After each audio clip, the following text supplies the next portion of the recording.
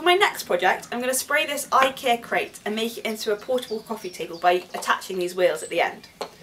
I'm going to spray the inside and the outside different colours. The inside is going to be dark Hessian and the outside is going to be old Hessian. It's really important to prime wood because it absorbs a lot of paint otherwise.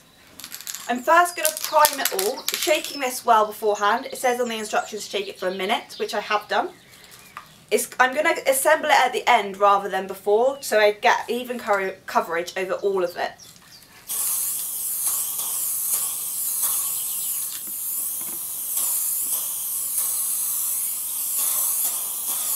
So now that the primer's dry, I'm going to spray the dark inside first.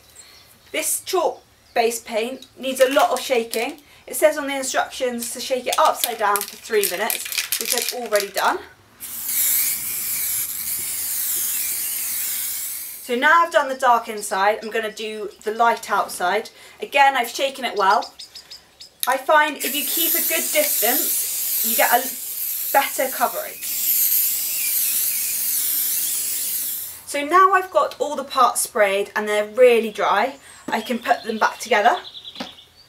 Make sure you do leave enough time to make them thoroughly dry, otherwise you'll put them together and they'll start sticking.